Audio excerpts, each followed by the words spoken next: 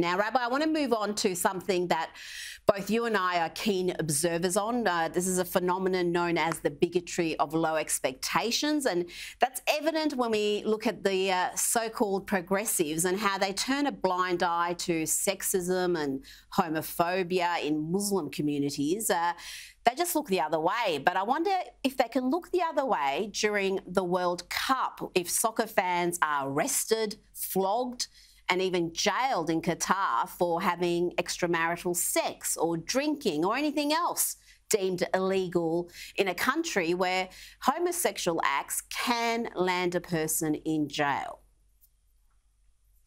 You know, Rita, Qatar is an Islamist terror funding government with an extremely very thin veneer of civility.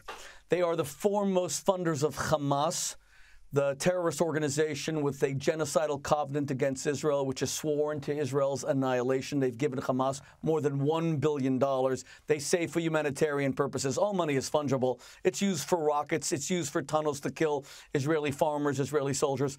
Uh, Qatar and receiving the World Cup just demonstrates that mm. FIFA is one of the most corrupt organizations on earth. Who knows how much money change hands to bring the World Cup in the winter to a country that in the summer is 110 degrees every single day. It's the size of our Connecticut. It barely had the infrastructure. It doesn't have the hotel rooms. How much money was used for this sports washing of Qatar's human rights abuses? And anyone dumb enough to travel to Qatar where you risk the apps that you're forced to download, the COVID 19 apps to clear your health record, the uh, sporting entry apps, Every intelligence service in the Western Hemisphere is saying they are going to steal all of your data. Bring a burner phone. You got to be nuts to travel to Qatar.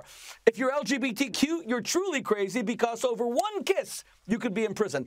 But extramarital sex gets you flogged. Now, they may not uh, insist on all this stuff, but who would want to go to such a repressive regime? And we hear so much these days, Rabbi, about uh, reparations and historic slavery and the evil of that, but those people have very little to say about the modern day slavery that we see in countries like Qatar, where they treat the migrant workers brutally. According to The Guardian, more than 6,500 migrant workers from places like India, Pakistan, Nepal, Bangladesh, and Sri Lanka have died in Qatar since the country won the World Cup. Well, if you want to know how bad Qatar is, just think to yourself that they were boycotted and cut off completely by Saudi Arabia, by the United Arab Emirates, by Bahrain. I mean, even in the Gulf, they're a pariah. Their only real ally is Iran, which is the most evil country, uh, government on earth, along with North, North Korea. Qatar's abuse of migrant workers, many of whom have died in building these stadiums since Qatar was awarded mm-hmm. the World Cup, and what Sepp Blatter has already said was a mistake. What do you mean it was a mistake? Why wasn't this investigated? Qatar is one of the most repressive, brutal regimes on earth, and they only get by because they were seen to be an important ally in the war on terror. The United States opened an, an Air Force base. There's about 10,000 U.S. servicemen there uh, servicemen and women. But we all know that this is a, they may be necessary for a base, but they are an absolutely evil government. They support terrorist regimes throughout the world. And we Jews are their biggest targets because Hamas has a charter calling for the murder of every single Jew on earth, including me sitting in the studio in New York City, including all the Jews of Australia, not just in the Middle East. And their biggest financial supporter is Qatar.